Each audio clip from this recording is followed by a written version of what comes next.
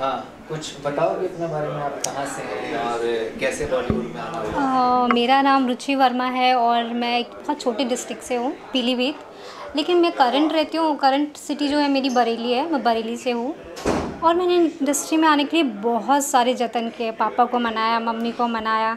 बचपन से ही school colleges में मैं ये थिएटर वेटर ये सब करती रही। मेरा मतलब बहुत बड़ा ड्रीम है कि मैं बहुत बड़ी एक्टर बनूँ पर पता नहीं आगे क्या होगा। सो आज आप पार्टी में आई हो श्री श्रीवास्तव जी की बर्थडे पार्टी। के साथ में लॉन्चिंग ये लॉकडाउन के बाद की मेरी पहली पार्टी है और मैं इनकी पार्टी में आई हूँ इनका बर्थडे है। Wish you very happy birthday Shrey ji. और इनका एक यूट्यूब चैनल है ताराराम पम और ये वो हम हम जैसे आर्टिस्ट को मौका देते हैं और शायद मुझे भी दे आई डोंट नो रुचि आपने बॉलीवुड में सुना एंट्री किया है कुछ आपके प्रोजेक्ट पाइपलाइन में? है हाँ मेरा एक प्रोजेक्ट है अभी कमिंग सून में है हॉट स्टार के लिए सीरीज़ किया है मैंने बट अभी तो कैसा एक्सपीरियंस रहा सीरीज़ में? जैसे लड़कियों के लिए बहुत ज़्यादा सीरीज़ बोल्ड हो जाता है कभी कभी तो वो मतलब कह नहीं पाती हैं। तो आप कैसा नहीं? नहीं मेरा सीरीज़?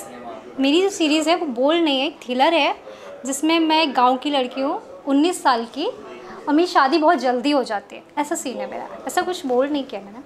और कोई प्रोजेक्ट हैं लॉकडाउन के बाद जिसमें आप करना चाहेंगे? हाँ मैंने बहुत सारी एल्बम्स भी किए एक दो एल्बम किया है। और श्री जी की पार्टी में आई हूँ तो हो सकता है वो भी अपने चैनल में मुझे मौका दे। एम क्या है आपका? बनना क्या चाहती हो? मतलब कहाँ जाना चाहती हो? किस सिनेमा को करना चाहती हो? किस तरह का सिनेमा पसंद करती हो? मैं एक बहुत अच्छी आर्टिस्ट बनना चाहती हूँ। एक्टर तो ठीक है बट मैं अच्छी आर्टिस्ट बनना चाहती हूँ। एक ऐसा करेक्टर करना चाहती हूँ जिससे मैं जानी जाऊँ।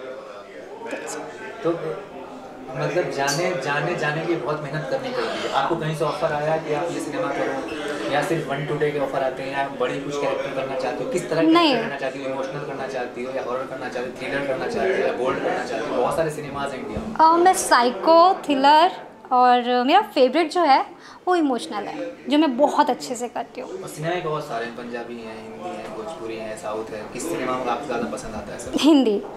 और But- सेलिब्रिटी को अपना एम मानते हो कि ये पसंद है आपको बॉलीवुड में? करीना कपूर। और हीरो में? हीरो में ऋतिक रोशन। ऋतिक और करीना आपके फेवरेट मेरे फेवरेट है। ऋतिक के बारे में आप कितना जानती हैं? वो वो बहुत ही अच्छे आर्टिस्ट है। उनसे मुझे मतलब इंस्पिरेशंस मिलती है।